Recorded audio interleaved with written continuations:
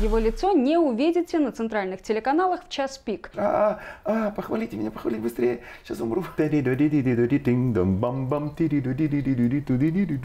я начал петь, я просто хотел нравиться девочкам. Это не только желание там, «А, когда предчувствием разлуки мне странно голос ваш звучал, когда смеясь, я ваши руки в своих руках отогревал. Часто ли инициатива исходит от вас?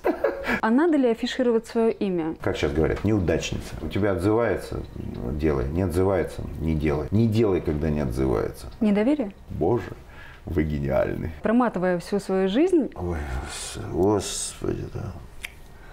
Ну давай, ладно, ну давай попробуем еще чуть-чуть.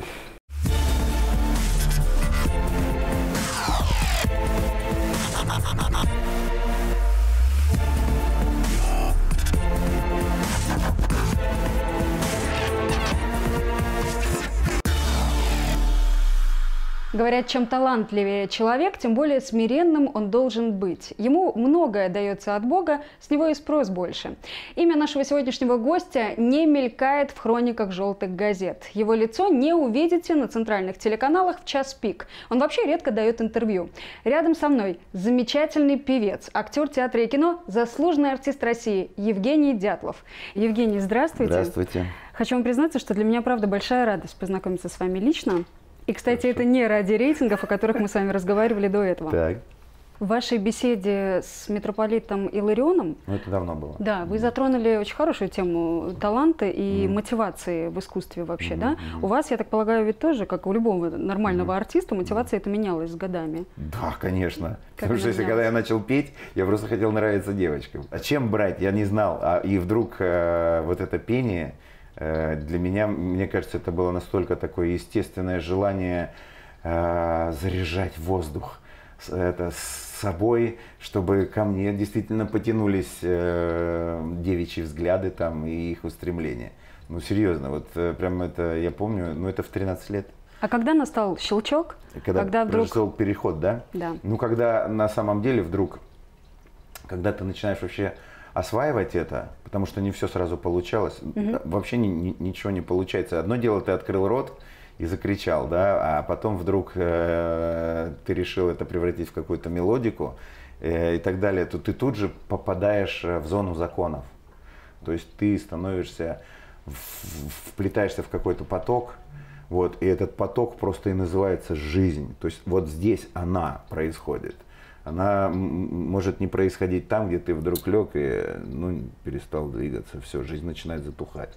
Вот, а где она активная, где она пульсирует, где она наполнена, где она насыщенная, там законы, и их надо для себя открывать. Как только ты начинаешь открывать, то э, девочки становятся только частным моментом, а через них как бы там вдруг открывается, и ты начинаешь смотреть на все шире, глубже, яснее, и вдруг становится э, ты, ты с удивлением и благоговением начинаешь смотреть на жизнь, которая состоит из таких мощных универсальных законов творчества, там, искусства, построения, там, гармонии там, и так далее. Вот, вот это открытие для себя вот этих вещей. Причем Я там э, учился скрипке с первого по седьмой класс.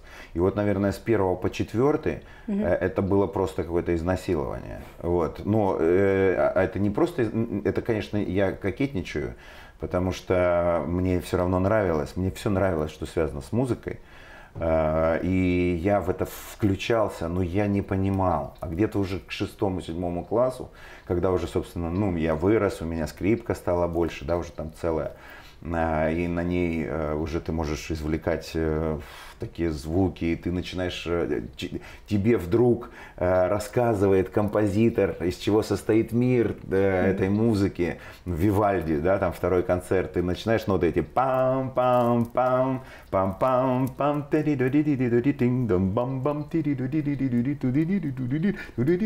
и, и все, и ты взлетаешь, это тебе человек когда-то, несколько веков назад, записывает э, подарок, который ты через себя начинаешь открывать. И с тобой происходит такая метаморфоза. Это удивительные же штуки. И вот э, с этого примерно периода, с седьмого класса, вот, вот этот весь мой пубертат, он стал в себя вбирать весь этот мир, вот, а не только желание там проявить себя. И вот это, это чудо великое. Вот в этом как бы вот в этом, в этом, в этом счастье. Довольно рано к вам пришло очень, это сознание, очень, надо сказать. Да. Евгения, скажите честно, какой была, наверное, самая весомая оценка вашего творчества, да, либо действительно самый ценный комплимент вашему делу? Mm, ну, не знаю. Э, на самом деле это не является комплиментом. Знаете, э, для меня оценка, когда тебя приглашают в работу. Э, для меня оценка, когда к тебе приходят на концерт. Э, для меня оценка, когда после этого, там, ну, скажем, человек приходит, и я вижу э, там, улыбку на его лице. Вот это э, улыбку, какие-то слова, которые сами, ну, э, как бы содержание именно этих слов мне не столько важны, сколько само желание что-то говорить угу. после этого, общаться, там, передавать какие-то свои э, эмоции, которые родились в результате общения со мной. Вот.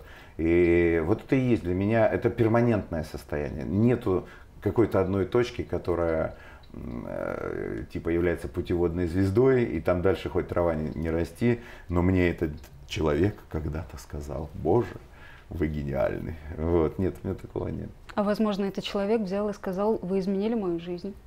Такое тоже есть, да. То есть есть, и для меня это тоже очень важно. Э, я помню, когда одна женщина подошла ко мне и сказала, у меня три месяца назад погиб сын. Вот. Э, спасибо вам на вашем концерте, я ожила. Ну, такой частный случай, очень важный, конечно. А похвала вообще артисту нужна, учитывая то, что у него Без... постоянно страдает самолюбие, самооценка? Да, да, да, да. В том-то и дело, потому что она страдает, поэтому она и нужна. Сама по себе, если вы очень стойкий оловянный солдатик, и все в порядке, и все такое, э, не столько нужна похвала, сколько благодарность. Вот, то есть, э, э, типа, спасибо.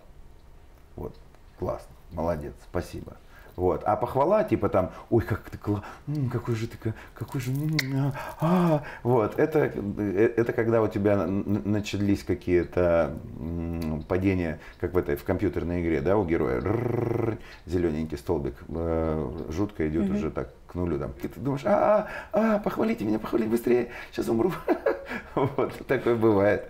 Э, ну, бывает, серьезно, это я в себе это отлавливал. Э, вот, и очень много. Э, обратная сторона медали, это ты, все твои истерики, все твои там психи, ну, как у артиста именно, да, вот, потому что те, кто общается часто с артистами, они наблюдают эти истории. Угу. Это тоже, это, как это, ну это все лакмусовая бумажка, показывающая, что, опять же, уровень э, здоровья, уровень, э, как бы там, что там, твое, твое, твоего боевого заряда близится к нулю. От кого вы всегда примете совет? Совет от мамы, от жены, от товарища, которого я прямо люблю. Вот мой друг, которого... Андрей Мерзликин? И от Андрея Мерзликина, есть у меня Максим Литовченко, вот, есть еще ребята, там из разных сфер, вот, которые по своим сферам, если вдруг мне дадут совет, я к ним прислушаюсь с большим удовольствием. Они, как правило, они, они не критикуют, э, у них в совете любовь. Продолжая тему о любви тоже, да. А, о любви к зрителю, да. о любви к людям, к публике вашей. А, вы, как любой большой артист, выступали на множестве концертных площадок, угу. как вот больших концертных залов, да. светских мероприятий. Публика и сцена имеют значение?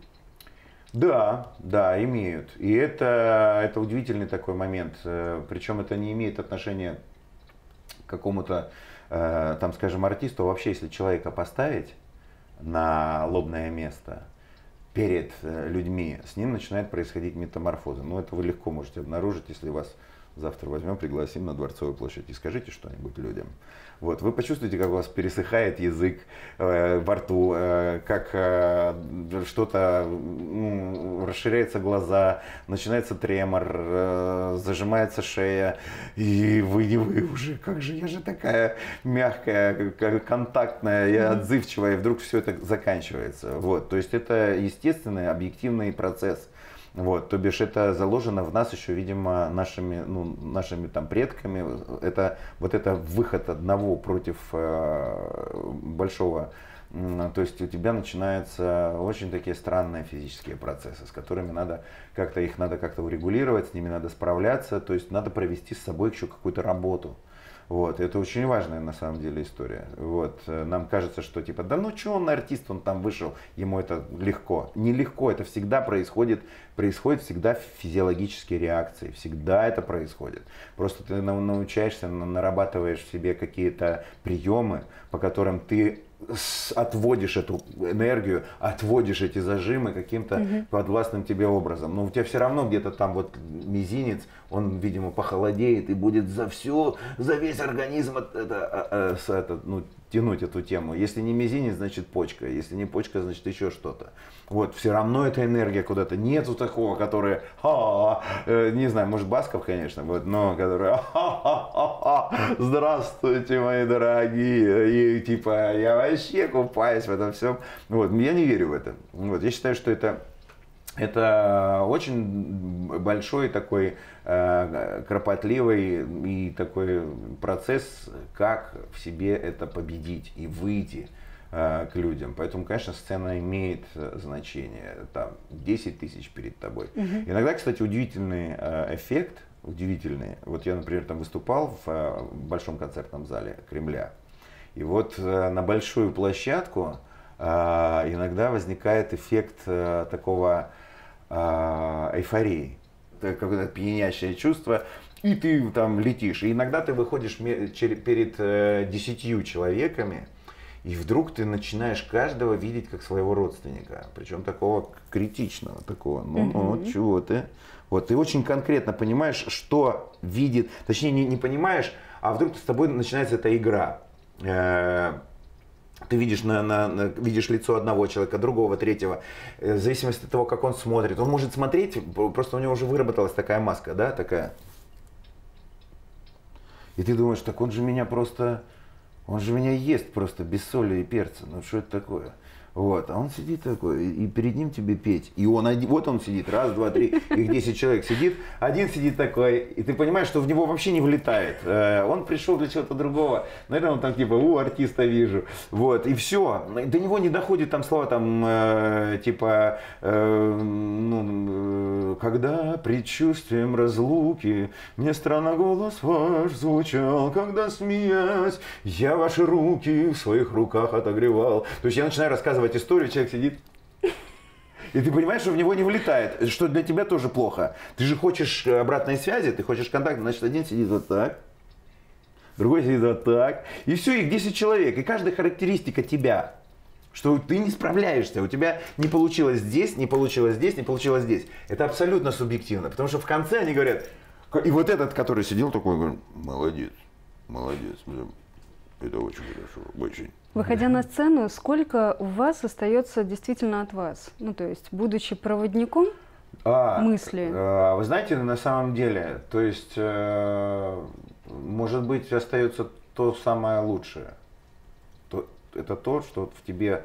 То есть, когда тебе не надо думать, э, там, я не знаю, о еде, а, ни о чем, то ты в этот момент э, этим не, не озабочен вообще.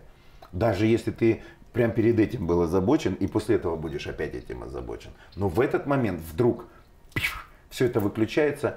Э, нельзя сказать, что это не ты. Это тоже ты. Но вот это, это самое как бы лишенное каких-то животных отправлений, животных задач, какого-то всей твоей лимбической системы. Хотя, конечно, страхи э, тебя в это время будут преследовать.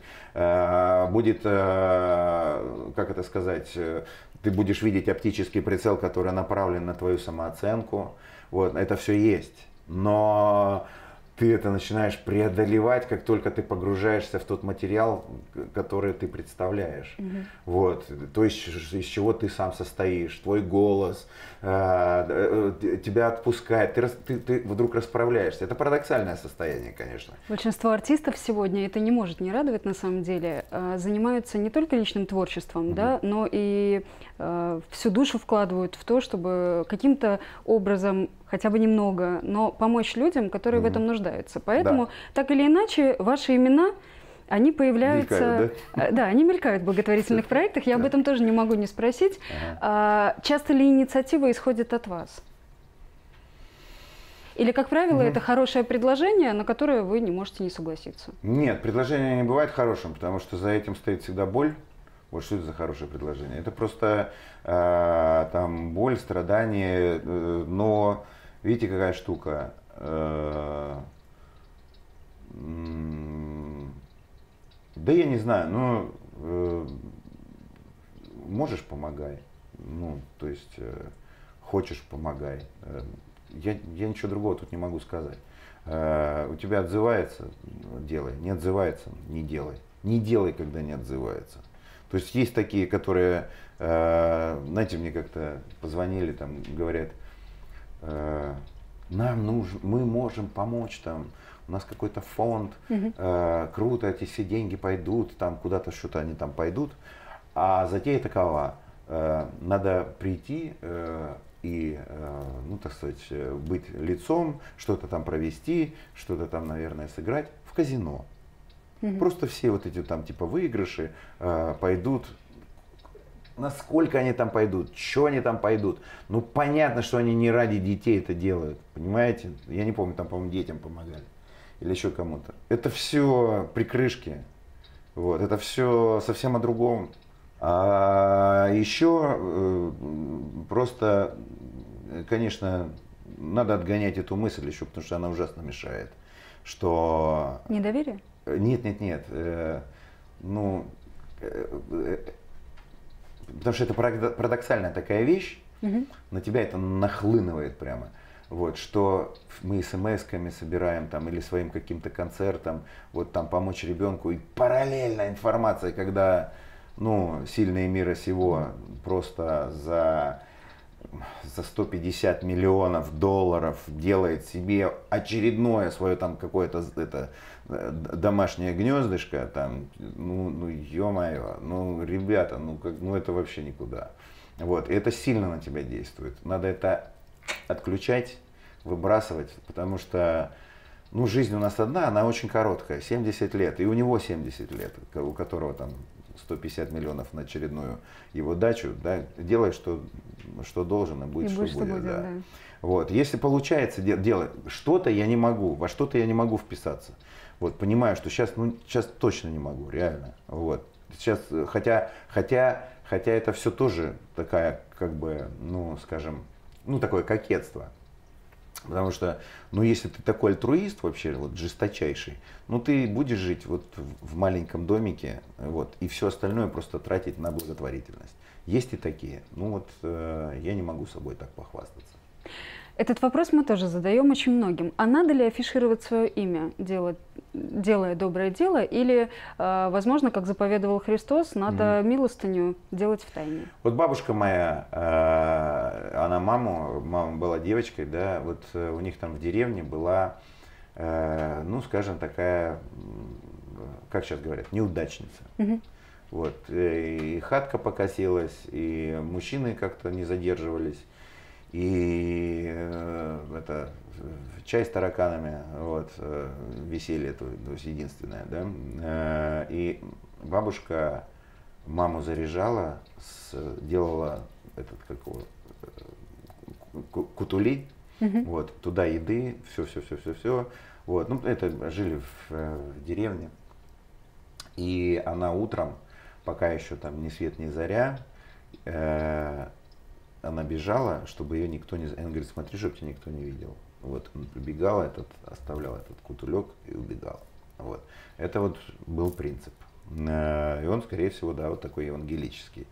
Э, и сейчас, я думаю, то же, то же самое. Другой вопрос, что иногда, вот смотрите, э, это опять же издержки вот, вот того, что происходит, что одни гребут просто эти деньги не пойми куда, вот, а другим для того, чтобы собрать эту сумму, надо объявить свое лицо. Иначе никто не пойдет, ничего не, не, не, не, не всунет. То есть мы из людей какими-то механизмами иногда там вытаскиваем. Ну да, вот чем там вот там э, фонд Константина Хабенского. Но все-таки Константина же Хабенского.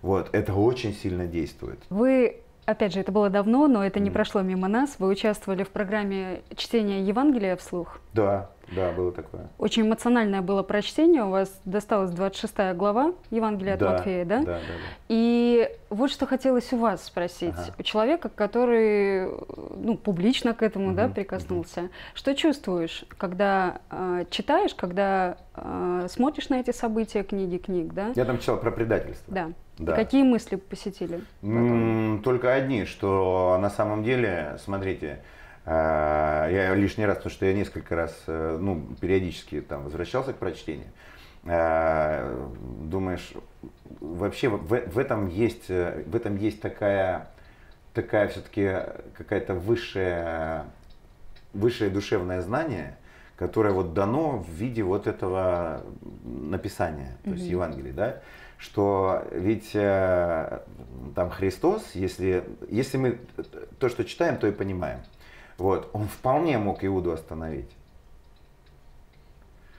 Он, а, э, я читал потом всякие там объяснения, что типа, ну он же знал, что он Бог, что ему бояться. Но это неправда. Он плакал, ему было страшно, ему было больно, ему было все. Вы, вы, вы начните себя, это, сколько вы это выдержите? Ему не хотелось. Ничего такого, что типа, ну он же Бог, он там в конце концов, там это все нормально. Поэтому он специально Иуду туда послал. Специально Иуда его предал, он хотел. Это что за мазохизм? Это, это сразу ку- куда-то совсем в другие дебри э, заводит. Ничего подобного. То есть пока он был человек, он был человек, он просто верил в то, что он Сын Божий. Он сам верил. Ну, если об этом, мы- вот я, я это читаю, как читаю, я понимаю, что ну, это уникальное, уникальное явление, Иисус Христос. Вот. Я имею в виду то, что я читаю.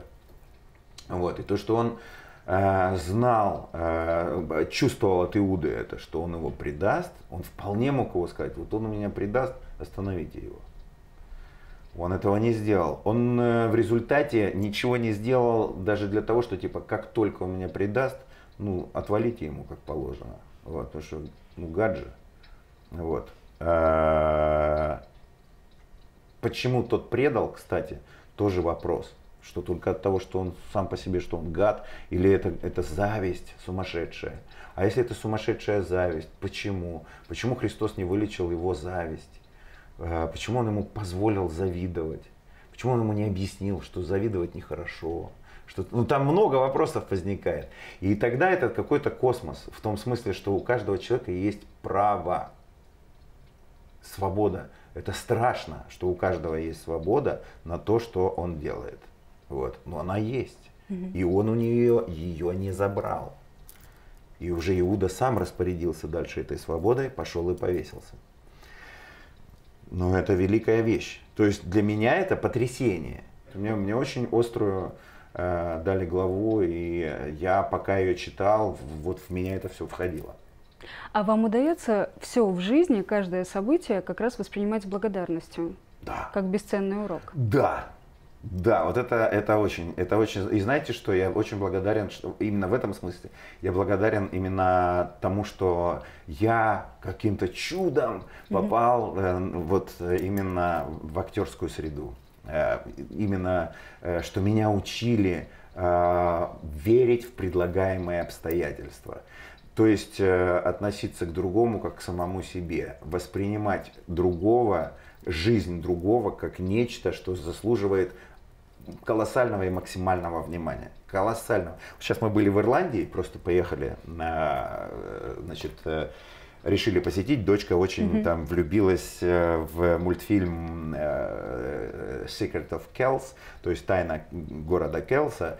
Это как раз разговор о Библии. Э, Это Евангелие, которое писали монахи и то ли шотландские, то ли ирландские, в общем, которые в конце концов, притесняемые э, норманами, сбежали от них и оказались в городе Келси, и там писали эту книгу, там потрясающую. В общем, Дочка этим заболела, мы поехали в Ирландию, и когда мы оказались во всех этих местах, и когда мы стали проходить, когда стали об этом читать, когда мы стали смотреть, как эти буквы, они э, на пергаменте, без лупы, вот, а там, ну, вот такой шрифт, э, вот такие заглавные буквы, вот такой шрифт, они все выписаны там так, это нереально, это нереально. Заставить сейчас людей просто отказаться от всего, быть этими монахами и, и вот это все выписывать, при том, при всем, что э, бытие наше ну, намного легче, проще, э, комфортнее и так далее. То есть э, это даже несопоставимые вещи. Увидев эту землю, увидеть, как эти люди могли в то время жить, ты начинаешь за них проживать, начинаешь за них про прочувствовать э, каждый день своей жизни. Вот. И это, конечно, это, конечно, потрясает. Вот. Пока что мы просто даже не понимаем, кто мы, кто мы, какое это чудо, какое-то несоизмеримое. Мы ходим несоизмеримое ни с чем. Вот. И, конечно, это благодарность. Конечно, это э, когда тебя, вот, в тебя это все время попадает, попадает, попадает, попадает. И ты понимаешь, что ты еще как, как собака Павлова, ты даже ты это все понимаешь, но выдать это э, и а, а, как это обратной связью вдруг точно там попасть и раскрыть это, что типа, ребята, чем мы занимаемся? Надо что-то другое с собой делать, не прыгать, вот там, что мы там вытворяем. Вот. А, но мы прыгаем и вытворяем, это тоже интересно, типа, почему? Угу. Вот. И вдруг ты находишь какие-то ответы, почему мы это делаем. Считаете ли вы на сегодняшний день себя счастливым человеком? Да. А, а, понимаете, мне вообще так кажется, что счастливый человек это тот, кто вообще родился. Вот. Это и есть счастье. Это счастье, потому что это уникальное. Просто по факту. Думаете вы так, не думаете вы так. Вот это вот э, слияние в, это, клеток, вот, э, деление, потом mm-hmm. превращение, потом получение каких-то качеств, э, каких-то совершенно уникальных данных – вот. Э, не, не, неповторяемая вот эта вот э, цепочка ДНК и так mm-hmm. далее. Это, ну вы же, когда смотрите на что-то удивительное, даже типа вы самый несчастный человек, но вам продемонстрируют что-то такое, там типа, смотри, что создали, смотри, что... И он на секунду он почувствует вот это холодок по коже. То есть вот это это, это работает само по себе, это удивительное, что-то удивительное, что-то уникальное. Mm-hmm. Вот я там плачу, когда я вижу, э, когда балет, э, прямо вот э, отточенные движения, прекрасное, э, что-то на сцене происходит, что-то удивительное, все, слезы из глаз, не от того, что мне плохо, горько или еще что-то. Это восторг, это восхищение. Вот, я э, люблю плакать от восхищения. Проматывая всю свою жизнь, э, за что больше всего в жизни вы благодарны Богу? Но за то, что посылал, наверное, испытания мне по силам. Вот. И давал мне возможность, э, давал мне возможность э, приходить к осознанию вот, каких-то своих плохих поступков, э, там, хороших, каких угодно. То есть э, мне кажется, что он мне все-таки очень жалеет. Так типа, ой, господи, да. Ну давай, ладно, ну давай попробуем еще чуть-чуть. Вот, ну давай, давай. Ой, ну, ну ладно, тут еще не это. Ну хорошо, ну, ну, ну пусть будет так, ладно. Ну так, ну как-то. Я ему за это, господи, пойдем. Спасибо вам большое. Спасибо. Евгений, спасибо за эту беседу.